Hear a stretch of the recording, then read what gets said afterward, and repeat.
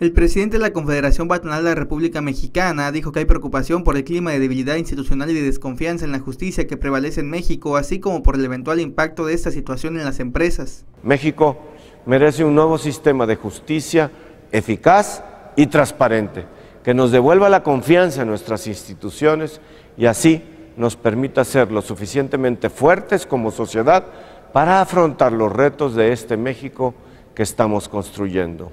demandó una mayor coordinación de las autoridades de los tres órdenes de gobierno en todo el país, en especial en las regiones en donde hay denuncias ciudadanas contra la violencia y la delincuencia organizada. Los mexicanos tenemos la tarea ineludible de fortalecer el Estado de Derecho, nuestras instituciones, hacer cumplir la ley. Tenemos claro que esta no es solo una tarea de las autoridades, es una labor que nos involucra a todos Subrayó que México tiene una de las economías más importantes en el mundo, con gran atractivo para los inversionistas y un enorme potencial para crecer gracias al impulso de las reformas estructurales. Sin embargo, este potencial parece estar limitado por la debilidad institucional.